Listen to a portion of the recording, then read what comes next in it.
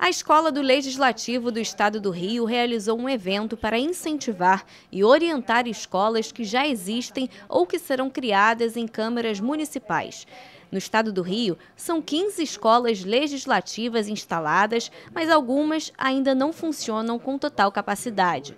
A Elerge, que já existe há 22 anos, reuniu a bagagem prática e teórica que possui e apresentou aos convidados. A gente entende que não adianta nada uma produção teórica, intelectual e essa produção não ter efeito prático.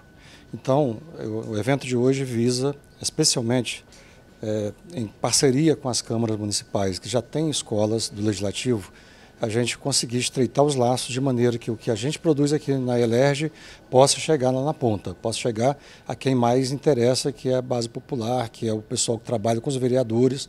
Então essa parceria entre Elerge e Parlamento no Estado do Rio de Janeiro é crucial. Então é, o objetivo central é esse. Representantes de câmaras municipais falaram de projetos que pretendem implantar nas escolas de suas regiões e de como o evento da Elerge vai ajudar neste processo. Isso, a nossa escola legislativa acabou de ser aprovada, aprovada terça-feira agora, e por coincidência já tinha um evento aqui na Elerge e a gente veio buscar um pouco mais de conhecimento para agregar lá a nossa escola que está sendo construída. A gente já tem um termo de cooperação com a Elerge, a gente já participa ativamente com os cursos, queríamos é, unir mais forças para poder fazer um legislativo mais atuante, não só para os servidores do Legislativo Campos, do Câmara Municipal de Campos, mas também para a sociedade civil como todo, região norte, noroeste fluminense. Também foi apresentada uma proposta de sistema fluminense das escolas do Legislativo e como ele vai formar uma rede de cooperação entre os municípios.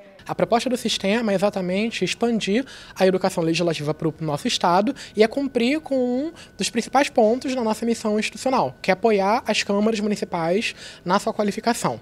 Então, a ideia claramente é permitir um trânsito de ensino, pesquisa e extensão numa rede colaborativa e incentivar consórcios regionais de criação de escolas legislativas nos municípios. O objetivo agora é que um projeto base do sistema seja definido e encaminhado à mesa diretora da Alerj. O nosso sonho, como eu disse, é criar essa rede de escolas.